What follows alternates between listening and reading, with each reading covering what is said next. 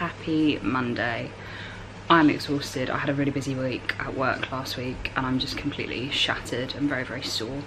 So I'm gonna try and rest up as much as possible this week. Um, since I've done so much overtime, I'm gonna hopefully work a little bit less as well and catch up and hopefully feel a little bit better and brighter. The thing is with the COVID restrictions is it's difficult to get out and now that the clocks have gone back, it's dark by the time Ian finishes work, so we're gonna struggle to even go on, on our walks. So we'll see, we'll see what it's like and I guess we'll find out together. Hey guys, um, so last night one of my best friends popped round with her latest creations um, because she is starting a vegan cheesecake factory basically. Um, it's called Plant Power Cheesecakes and she's sent me some and they're all vegan uh, but she's done gluten-free especially for me so this is her first foray into gluten-free and they look so good. That's the raspberry and chocolate We've got rum and raisin and chocolate and hazelnut. So Ian and I are very much looking forward to those. I'm gonna try some right now.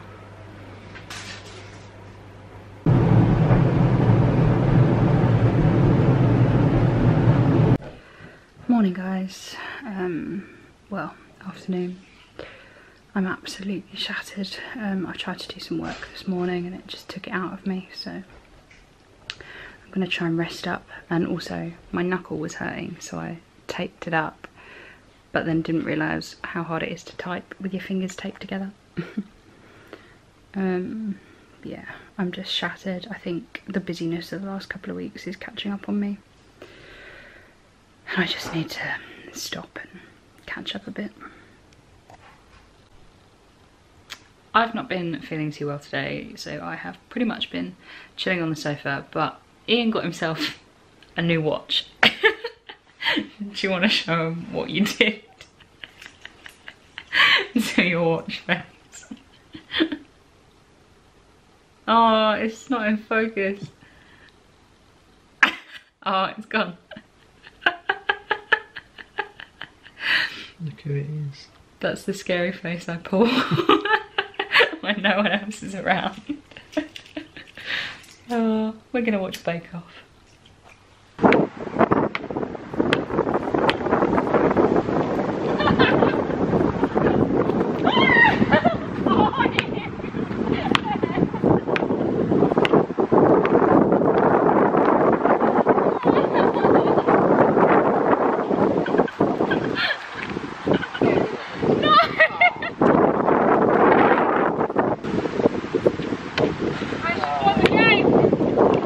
Hey guys, so in an effort to try and get outside and get some exercise today, Ian and I went and played basketball on our lunch break, um, which was quite fun actually, um, even if I did take a ball to the head.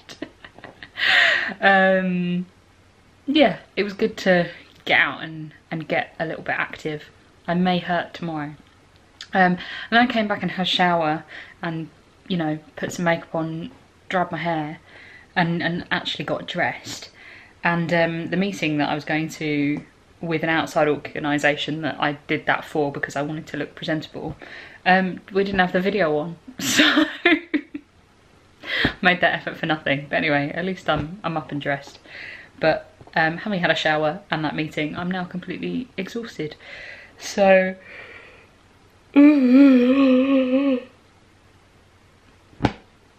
So I'm going to uh, crash out for a little bit before getting on with some more work. I will see you later. Hey guys, happy Thursday. Um, I'm very, very tired, as I have been all week. Um, and also my hip has really been playing up. I It was playing up last night and I got a bit of an early night, but unfortunately it hasn't helped. So I'm gonna try and walk it off. Um, but something that I'm very excited about is we are going to see my favorite puppies. I haven't seen them in like nine months um, so I'm really looking forward to some puppy cuddles. I need that kind of love in my life. I just hope they remember me. I'll see you in a bit.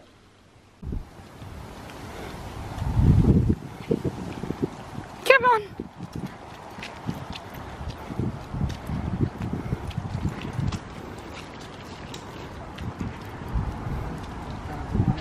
Come on!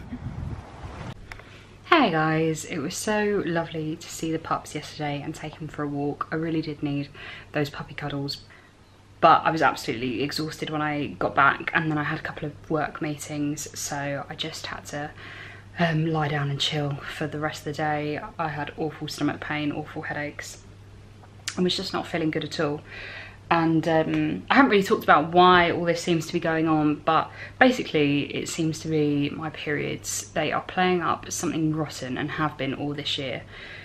I used to have really bad periods when I was a teenager and have been on the pill for a really long time but this year it's just 2020 isn't it? Um, and they decided to start back up again through no good reason. Obviously at the beginning of the year I kind of figured it was stress. I had a lot going on um, but they haven't calmed down and have been really irregular. But the problem for me is that they're just knocking me sideways in terms of fatigue and pain and headaches and it's just been really really awful and I'm struggling to concentrate and I know this is a this is a problem and I had some tests um, to see um, why this might be happening, but all of those have come back normal.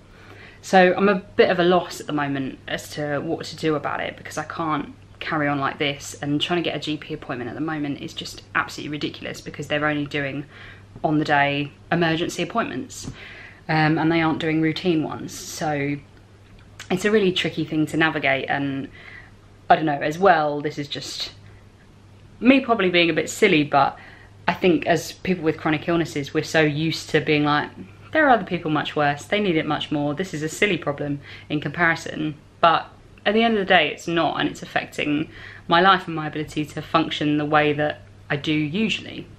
It's tricky for me because it's just meaning that I'm really struggling with work um, every month and I can't I can't have that where I need to take time off work every month. You know, luckily this week I worked so much the last two weeks that I had some time in lieu. Um, so I could just do bits and pieces where where I need to, but it's not a long-term solution going forward. So I'm going to try and get an appointment next week and see what can be done about it because it's getting ridiculous now. Anyway, I've finished the work I need to do today. I desperately need to get the last of the Dysautonomia Awareness Month videos out because there's only two month, two days left of the month. Um, but I will, I will do those now. Um, I caught up with my mum. I need to catch up with my dad. I'm trying to arrange what on earth to do for my birthday because loads of people are asking and obviously I think in this time with with corona like you just can't plan even if I plan for the situation I'm in at the moment and plan to do something outside, it could all change in two weeks. And I'd rather not plan so I can't be disappointed. I'd rather just say, Ian and I will just spend the evening in and watch a movie like we always do. Um, but you know, I think that's how, how winter lockdown birthdays are gonna be this year, unfortunately. Anyway, I will stop rambling and get on with what I need to do and talk to you a bit later. As usual, time for a wild Friday night. hey guys, we are carving pumpkins on our Friday night. we have a little bit of a selection. These are the ones that we picked last week. Ian, do you want to show us what we got? Please. so we got this little snowy guy, this little funky Turban Turks, I think he was called. I'm not sure what the green one is. Um, and then Ian chose this round guy, and I chose this kind of standy-uppy guy. And uh, we're going to have some fun. Mine's going to be better. No, it's not.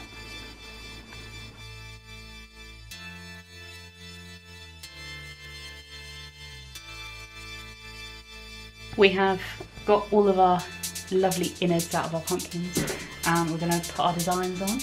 Ian, you've gone for like a wolf, which you're looking very confused yeah, about. Falling apart, it's not long work. Uh-oh, you might have to think of a plan B. I am going for something very predictable, but you'll see what that is in a minute.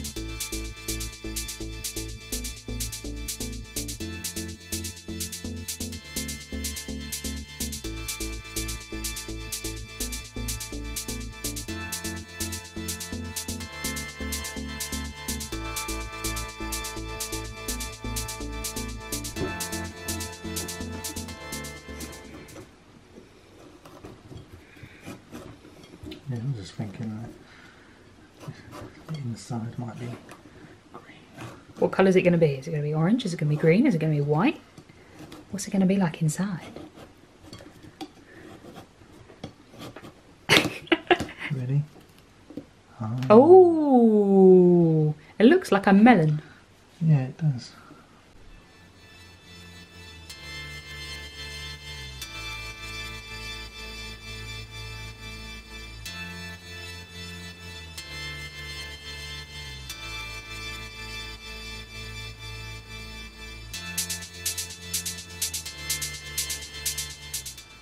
Overall, I'm really impressed with our efforts. Uh, my Olaf looks pretty good. I hope you guessed that it was Olaf.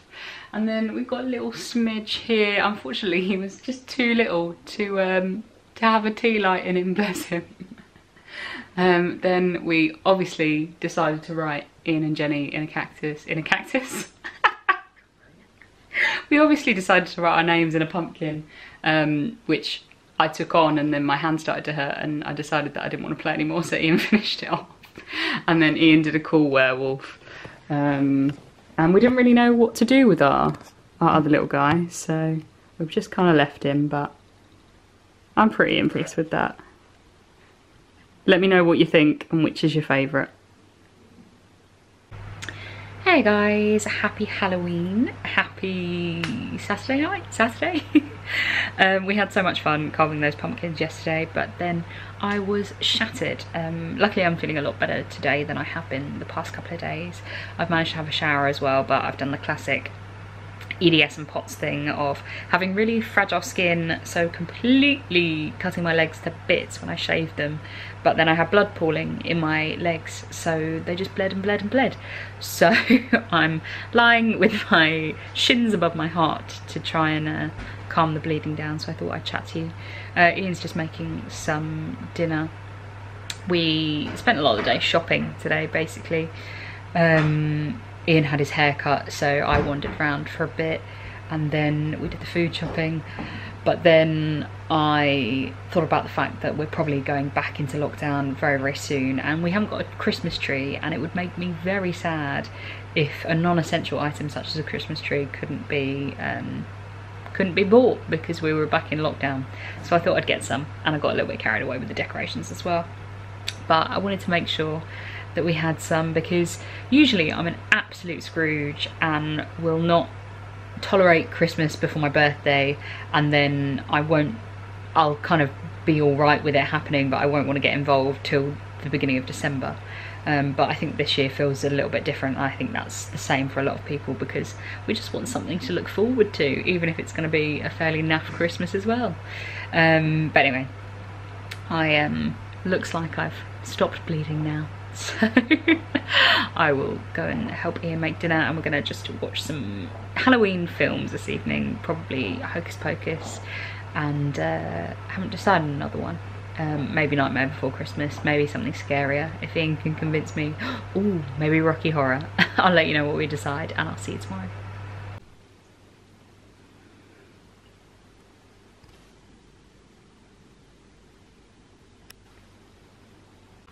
Morning guys, happy Sunday, happy November. Um, it's going to be a bit of a strange November, but maybe I'll talk to you a little bit about that later. I'm very stressed about the new new lockdown and mainly what that means for work um, for me. But I've had a hospital appointment this morning. It was just dermatology.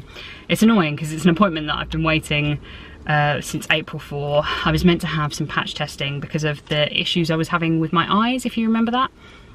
Um, but it was a long time ago and I've just had a chat with her and she kind of said since I haven't had any bad symptoms for the last five or six months um, that they're not going to bother with patch testing because it's not happening and it's taking so long with COVID anyway. Um, so it's a shame because I did kind of want the, the allergy testing to, because I know that there are some things I react to and it would be nice to know what they were, but since I haven't had a reaction in a while, um, you know, it, everything is kind of under control at the minute, so it does seem rather pointless. But anyway, at least that's all sorted and another thing kind of ticked off um, and tabled for now at least. If I have more problems, I know that I can go back and get some help with it. Um, but anyway, I'm not quite sure what I'm going to do with myself. Ian's got some bits and bobs to, to do, so I'm a bit scared about braving the shops purely because I know every single person ever is going to be braving the shops uh, in the next couple of days while they're still open. So might just go home and chill for a bit. I'll see you a bit later. Guess who I'm with? And it's their birthday! I, uh, I just love the fact that you will always be 10 days older than me and it's, it's the best. It's and the best. older sibling. 10 days first. So guys, um, it was lovely to see Karen for their birthday. Um, I was glad that I got to do that um, before before lockdown, but obviously this whole lockdown thing is really stressing me out and I'm very anxious and very kind of upset and I don't fully understand why. I'm, I'm worried about work and what this is going to mean for my job. Um, but I can't seem to shake this feeling and I'm sure it will it will calm down, um, especially when I know more about what's going on. But I think all of us have got to remember that in this, it's okay to feel those things, and we've got to let ourselves feel those things, um, however frustrating they might be. So anyway, I've probably not dealt with it in the best way. I've ordered myself a takeaway when these are things I probably shouldn't be doing, but sometimes you have to just have a day like that and treat yourself. It's nearly my birthday. and I'm gonna have a lockdown birthday, so why not? Why not celebrate a little bit early by treating myself? Um, and also, the other upsetting slash annoying slash frustrating thing today is that I was getting my walker out the car to go shopping and the seat fell off and not just fell off like the screws were loose, fell off as in the plastic and the frame broke. So although I can still use it to support me walking, um, it can't carry stuff or and I can't use it as a seat anymore, which is kind of one of the main purposes that I, I use it. Thankfully, because of lockdown, I'm not I'm not desperate for it, but I am gonna need a new one and they cost money, which I don't really, really have. So we'll wait see on that one. It's just it's just frustrating. Um, it's just an extra thing that seems silly, but I just didn't really need um, that extra thing to worry about. Anyway, sorry to end the week on a bit of a sour note. I'm going to try and cheer up and watch some Strictly and put myself in a bit of a better mood. And um, I will see you guys next week. Thank you so much for coming along on this week with me. Your support always means everything to me and I couldn't get through half the stuff that I get through without you lot and your support, so thank you. Spoons and love to you. I know this is a tough time for everyone. Please drop me a message or an email if you want to chat. Um, if you've liked this video, please give it a thumbs up. If you haven't already, I'd love it if you'd hit subscribe. I'll see you very soon for another one.